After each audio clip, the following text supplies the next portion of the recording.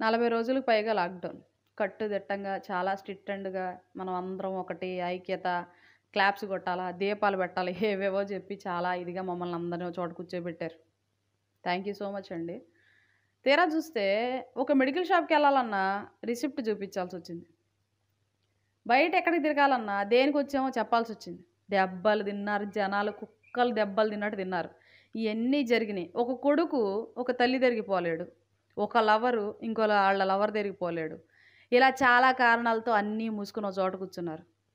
తీరా చూస్తే ఇప్పుడు అన్నీ పక్కకి పెట్టి ఏవేవో ఓపెన్ చేశారు. వైన్స్ ఎందుకు ఓపెన్ చేశారండి? కడుపుకుందా కాలుకుందా ఆరోగ్యానికి ఉందా పేదరికం పోగొట్టిద్దా ఆకలి తీర్చిద్దా ఏదైనా ఉందా? మళ్ళీ తిరగేసి ట్వంటీ ఫైవ్ పర్సెంట్ ఎక్స్ట్రా ఆడున్న డబ్బులు రూపాయి రూపాయి ఇంట్లో పట్టిందల్లా కూడా తీసుకెళ్ళి ఇప్పుడు అక్కడ తగలేస్తాడు. దేనికోసం? గవర్నమెంట్ కోసం. పనులు లేవు. చేతిలో డబ్బులు లేవు.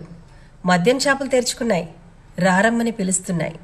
ఓవైపు కరోనాతో పోరాటం మరోవైపు మద్యం కోసం ఆరాటం. మామూలుగా ఉన్న వాళ్ళని కట్టడి చేయడానికే పోలీసులకి చాలా కష్టం. మరి మద్యం తాగిన వారిని ఎలా నియంత్రించడం?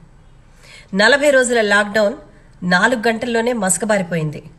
ఇన్నాళ్ళు పడ్డ శ్రమకి ఫలితం లేకుండా పోయింది. ఇంట్లో భార్య బిడ్డల ఆకలి కేకలు భర్తేమో ఎండలో మందు కోసం పడిగాపులు. పుస్తలమ్మాలా? పస్తులుండాలా? ఏమిటి సందేశం? దేనికి సంకేతం? నలభై రోజులు ఎన్ని కష్టాలున్నా కడుపు కాల్చుకుంటూ కన్నీరు దిగుమింగుతూ మీరిచ్చిన రేషన్ తిని తినక తిని తినక సంతోషంగా బ్రతుకుతున్నాం సార్. ఎందుకంటే మద్యం షాపులు లేవు. కరోనా దరికి చేరదనే ధైర్యంగా ఉన్నాం ఇంట్లో.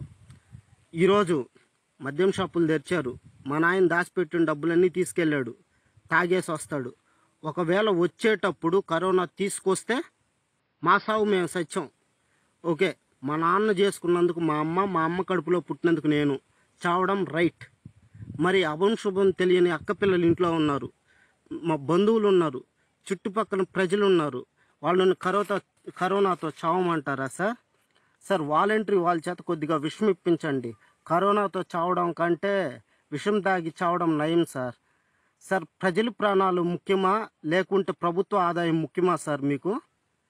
ఏ సందేశం ఇస్తున్నారు సార్? నమస్తే సార్. ఏంటండి? వీడియో నచ్చిందా?